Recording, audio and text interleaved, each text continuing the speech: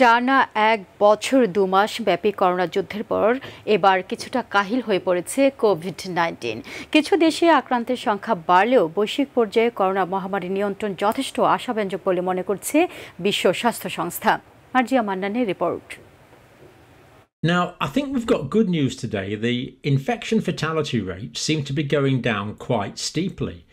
Much fewer people seem to be dying from this pandemic than we had feared at the start. প্রায় চোদ্দ মাস পর আশার বাণী শোনালো বিশ্ব স্বাস্থ্য সংস্থা।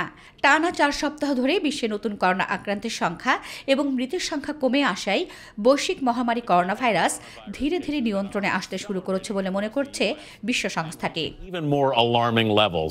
তারা জানিয়েছে গত সপ্তাহে বিশ্বজুড়ে করোনায় মারা গেছে প্রায় আটাশি হাজার মানুষ যা এর আগের সপ্তাহের তুলনায় অন্তত দশ শতাংশ কম।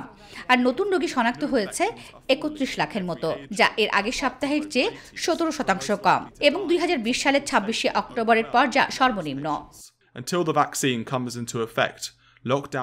সবশেষ সাপ্তাহিক বিবরণীতে বিশ্ব স্বাস্থ্য সংস্থা বলেছে আক্রান্তের সংখ্যা যদিও কিছু দেশে বাড়ছে তবে বৈশ্বিক পর্যায়ে তা যথেষ্ট আশাবাঞ্জক গত সপ্তাহে বিশ্বে সবচেয়ে বেশি নতুন করোনা রোগী পাওয়া গেছে যুক্তরাষ্ট্রে। তাও এর আগের সপ্তাহের তুলনায় অন্তত উনিশ শতাংশ কম.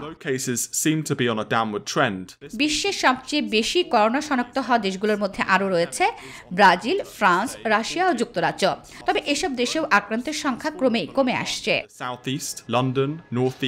আগের সপ্তাহের তুলনায় গত সপ্তাহে বিশ্বের সবচেয়ে বেশি সংক্রমণ কমেছে আফ্রিকায় আর সবচেয়ে কম কমেছে পূর্ব ভূমধ্যসাগরীয় অঞ্চলে তবে সংক্রমণ কমলেও করোনাকে পুরোপুরি পরাস্ত করতে ভ্যাকসিনের দিকে তাকিয়ে রয়েছে গোটা বিশ্ব. মার্জিয়া মান্নান মাই টিভি